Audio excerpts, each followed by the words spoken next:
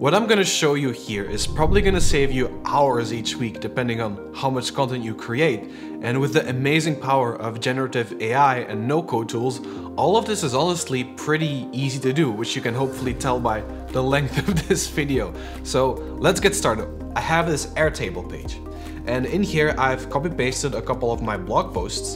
And what will happen is that once you add this in here, it will generate quotes or tweets based on the content of the article. So we're not gonna go into writing actual articles, that's something for another video. But then once we have this, it creates these tweets here. And so you see one, two, three, you see they got better over time because I was still tweaking the, the prompts and, and the whole workflow a little bit. But it makes this. We have this image here that is ready for us to be posted on, let's say, Instagram. We have the content which we can just post on Twitter. And all of this was just completely automated based on the article or the blog post we had inputted. Now, I figured out how to do this for you. I've done the hard work. I've figured out which pieces of the puzzle you can puzzle together and how to do it. And so we're gonna go into that right now. So let's start with the plan. The plan is this. We have an Airtable table where we put in all our source content. And then we add a trigger to that so that once the content is added and it's ready for generation, then we do a couple things. First of all, we extract a quote or a tweet from it. And you can do this multiple times if you want, but for now we'll just do one, right? So extract a quote from it. Second, we generate an image prompt.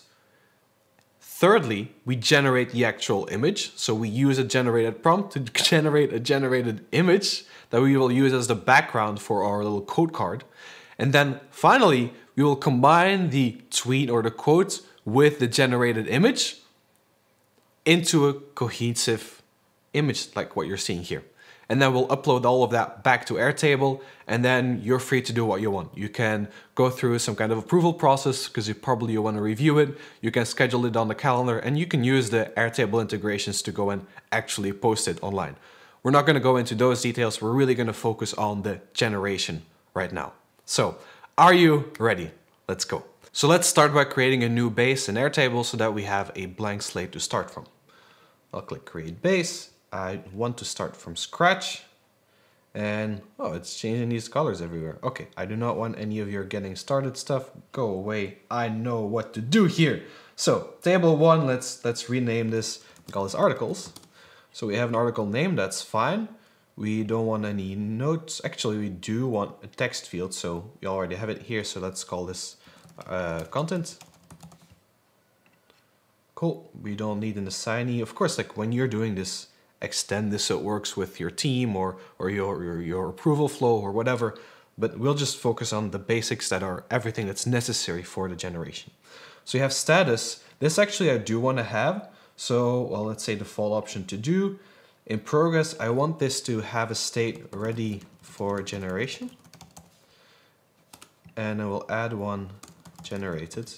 The reason I'm doing this is to make sure that it's to prevent it from accidentally generating new ones. I don't want it to continue in the loop and generate over and over and over again. So let's save this. There we go. Another field we will need is the last modified time one because make, which is the integration we'll use, it actually listens to when the thing has changed and it needs this time field to understand when did one of my records change. So field name yeah, is optional. Last modified, perfect. So, okay, let's go and let's go to my website and let's go pick a blog. So let's see, we, we have something to work with, right? Who are you writing your goals for? That's great. I'll just copy paste this. Uh, oh yeah, that's the one. I'll paste the content in here. Who are you goals for? And we set the status to, let's already put it ready for generation. We will delete these other two articles. Okay, so now we got this data ready. Now, we want this generated quote cards to end up in a different table so that we have one or multiple quote cards related to the same article. That way it's easy for us to track. It's easy for us to know when something need, is updated or when they're posted and we can delete ones, add new ones as much as we want. So let's click add, create a new blank table and let's call it quote cards. There we go. we have a name. So the actual content will be, let's call this the quote. All right. Assignee, delete this, status. You know, we can keep this. Let's let's put it into do for now so that you have your little flow afterwards. Let's delete those empty ones. Okay, so what else do we want? We want a link to our article. So let's call it, yeah, already perfect. Article, I do not want any lookup fields. Uh, actually, I only want it to be one, so, right? Because our code query is related to one article. So let's rename this to article. Okay, so what do you have? We have the name, which is just, we will need to fill in something. We have the actual quote, we have the status, we have the article, and now we're gonna add the fields that we're actually gonna generate. So we might just keep the final image, but I like to have all the data in between to kind of see what's happening there. So we have the quote. What else do we have? We have an attachment, attachment for the background image right? So we'll have the background image and then we'll stick the quote on top of it, which will generate a final image. So let's call this final image. There we go. Cool. So we got everything set up and ready to go. So let's hop over to make. Let's log in here, platform. And we go to scenarios. You'll see this is the one I just created to test this out, but we're going to create one together. Cool. So social quote card generator. Let's add this. What do we want? We want this to start when a record in Airtable is modified. So as we're editing it, when we change the status to ready for generation, I want this to create the new generation and then stop. So let's go Airtable watch records. This is the one that starts with the input. I already set up all the connections to all the tools we're going to need. Though it's pretty straightforward. Just go to the help documentation of each of those connections and set it up. It doesn't make sense for me to go into those details in this type of video. Okay, so let's go to base. Oh, I don't think we named our base, whatever. Untitled base, that's the one. So we want this to trigger on these articles. There we go. Trigger field, this is the last modified one, so the, the help documentation is there. And the label is, let's just use a name. Cool.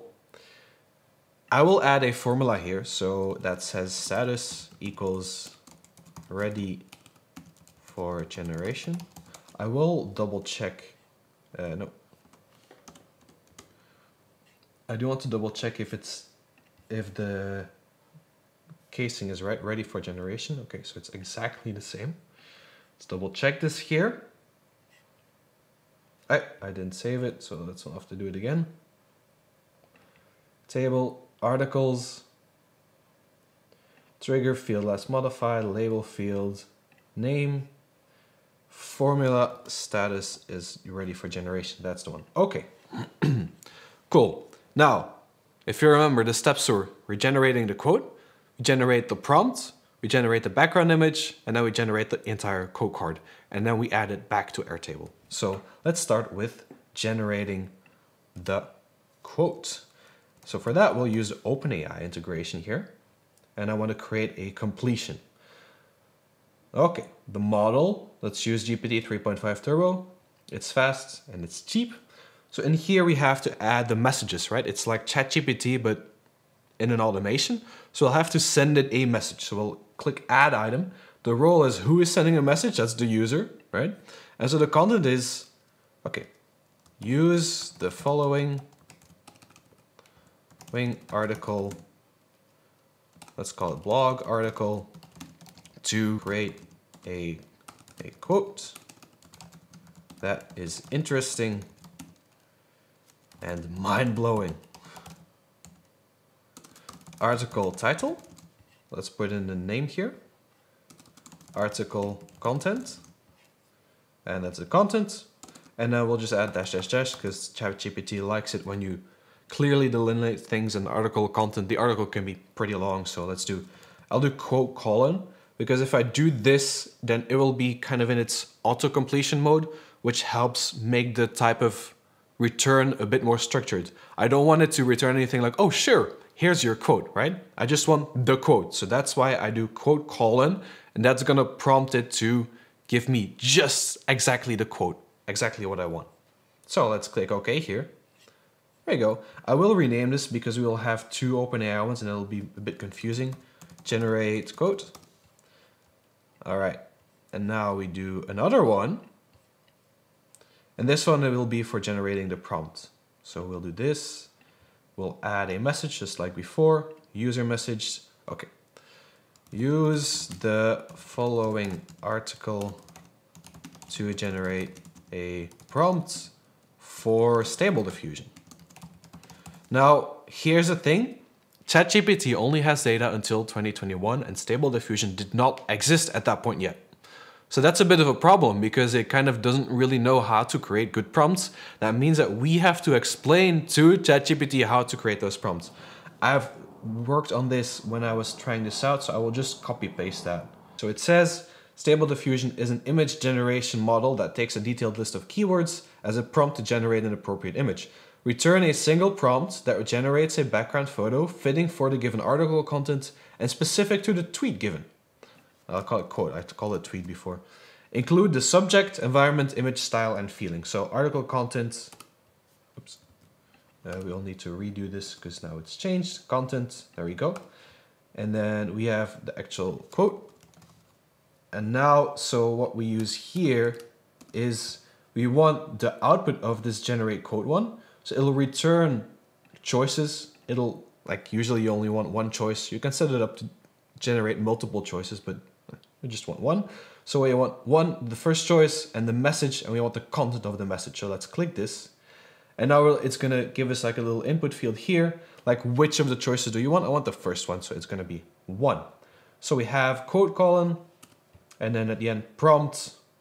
Let's let's do this stable diffusion prompt so it doesn't get confused. And click OK.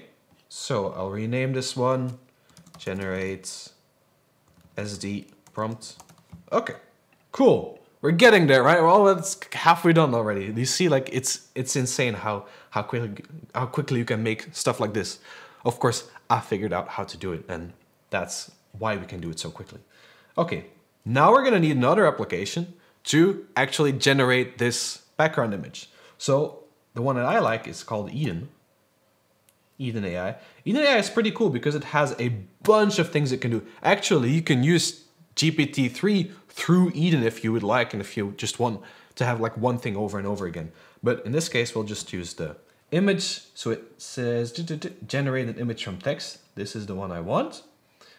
And the text prompt is, here's like a little the prompting again, it gets a bit difficult. So I will start by saying background image so that it doesn't become too complicated. And then we have this generate SD prompt. Again, we will go choices, message, content. This is the one I, this is the one I want. And we want the first choice. Cool. Now, after that, I like adding a couple of keywords that help Stable Diffusion just improve the general quality of the photo. So things like masterpiece, UHD award winner. What else can we do? Highly detailed. Oh, detailed. Uh, shallow depth of fields. Bokeh. There's one more thing that I want to do here because one of the errors I noticed when I was trying this out is that when you're generating the image, it doesn't want a prompt that's too long. So sometimes ChatGPT can create a long prompt especially for just adding stuff like this here. So what I'm gonna do is, we're gonna do this very simply. We're just gonna cut off everything that's too long. So the way we can do that is using one of the functions that's built in to make here. So if you have the A1, you see functions, the one that we want is substring. And so substring, this is gonna take, first we have our actual text. Oops.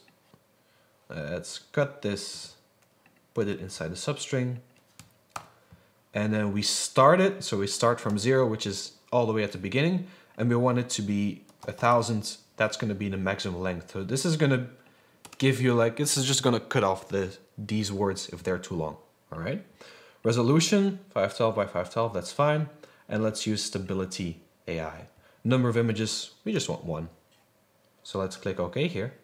And now we have our image generation set up. Automated image generation from an article. Are you liking it so far? I hope so. I hope so. So let's let's let's continue. What we're gonna do now is we will add another module and actually it's just slipping my mind. What I want to use here is called Placid. And now Placid, let's go to the application. I guess it's this button. Yeah, so you have playgrounds. And so what Placid lets you do is, we'll do create template here. It lets you create a template and then afterwards you change the text or you change the images, which is exactly what we want to do. So let's pick one. I really want to quote one. So let's do tags, quotes. There we go. There we go. Yeah, this one like a cool uh, workout type one. Okay, so this one is called motivational. You can change the text if you want, of course. And so what you'll see here is that we have a bunch of layers. We have the IMG, which is the background. It's already, you see this thing is like a rotate the image, which means that it's dynamic. That means that we can change it afterwards. You can just turn this on or off, right? We have the image, we have the URL, which is a top word. Actually, let's just delete that for now uh, or hide it. There we go. And then we have the actual title. All right, so we'll save this. And then we'll go back to make and we'll do Placid. Let's add the application here and I want to create an image. All right, template, motivational, that's the one we just created. And what do I want to do? Transparent, I don't care. Image, so here I want to put the URL of the image I want to use as a background. So we'll scroll here to Eden AI, we check the results. It has items and an image URL. So in this case, we only have one result. So we want the first one. We only have one image generated. So we take the first one and then we have the image URL. Okay. URL, I don't care. We just hit that one. And then we have the title. So we now put in the text and that's going to be our quote, right? So we go here, generate quotes, choices, message, content, and we want the first choice. Press OK. And now we have all of this set up. All right, so this is the point where we generated everything that we needed, right? We had the input data, we generated the quote, we generated the prompt, we generated the background image, we generated the quote card. And now it's just time to put everything back into Airtable. So let's go ahead and do that. So I'll click the plus here. We go Airtable. I want to create a record. I want to use my untitled base and I want to add it to the quote cards table.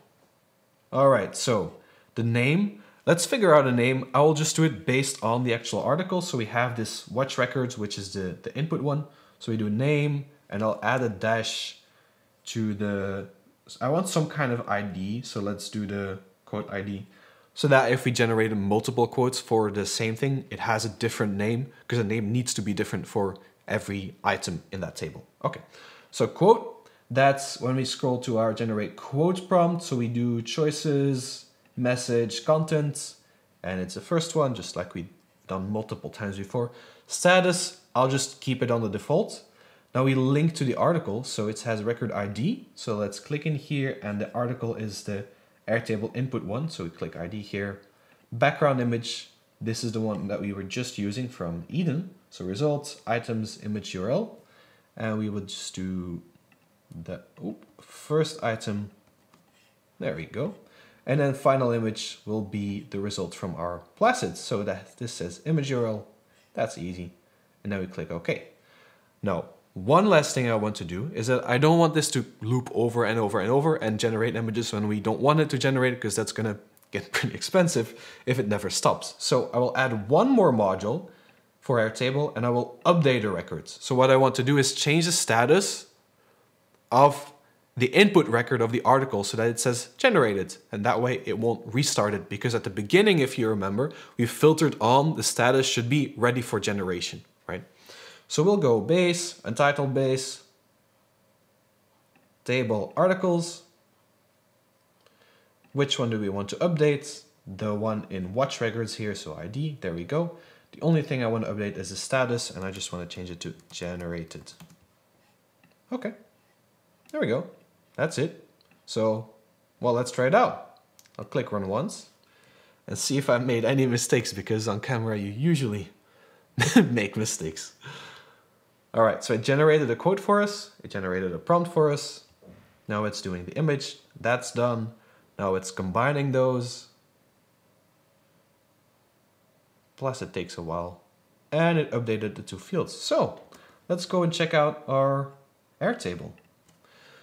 Cool, so it changes this to generated status, that's cool. And if you go to our quote cards, there is one. So let's expand this and see what it has. There's this guy standing. All right, so there's a watermark here. So you see the prompting can be much improved, but that's a topic for another video. Let's see. The reason most of us are unhappy is because we set our goals for the person we are instead of the person we want to become. Our goal should be a reflection of our future self, not our current self. There we go. That's it.